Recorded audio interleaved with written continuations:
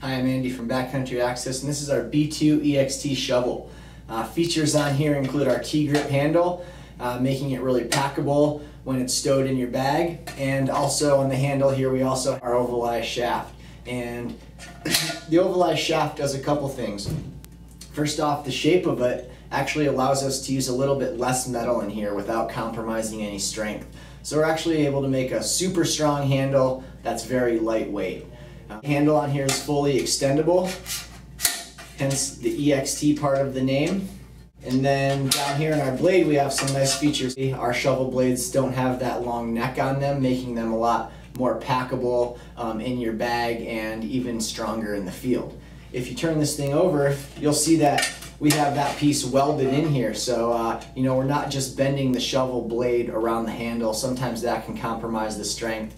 We've actually welded that piece in here, um, and that's gonna make the shovel a little bit stronger if you're digging in any sort of hard avalanche debris or just uh, in hard snow in general.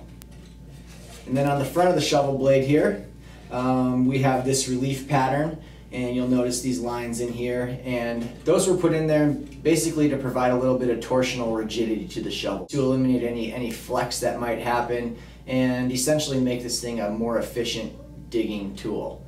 This is our B2 blade, it's our mid-sized blade. Really ideal if you're out digging snow pits, um, you know, doing compression tests, shear tests. It's a real nice size for that kind of stuff. And that's our B2 EXT.